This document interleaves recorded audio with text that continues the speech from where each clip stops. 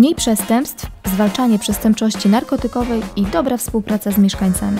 W minionym roku żarowscy policjanci podjęli 2054 interwencji. To o 716 więcej niż w roku ubiegłym. Policjanci podsumowali 2015 rok na dorocznej odprawie, którą przeprowadzono w czwartek, 18 lutego w sali narad Urzędu Miejskiego w Żarowie.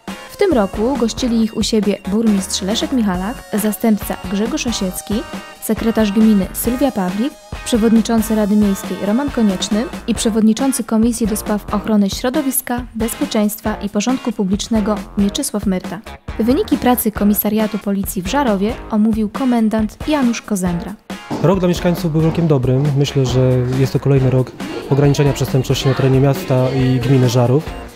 Y, Policjanci osiągają coraz lepsze wyniki, jest coraz więcej zatrzymań na gorącym uczynku przestępstw kryminalnych, a także wykroczeń, co dzisiaj będzie ujęte na rocznej odprawie. W Żarowskim Komisariacie Policji pracuje 17 funkcjonariuszy. Choć jest to jedna z mniejszych jednostek na terenie powiatu, odnosi znaczące sukcesy.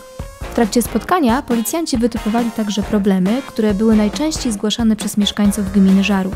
Na zakończenie odprawy komendant policji w Żarowie podziękował władzom miasta i radnym Rady Miejskiej za wspieranie policji w Żarowie. W minionym roku ze środków budżetu gminy Żarów na rzecz policji zostało przekazanych ponad 52 tysiące złotych.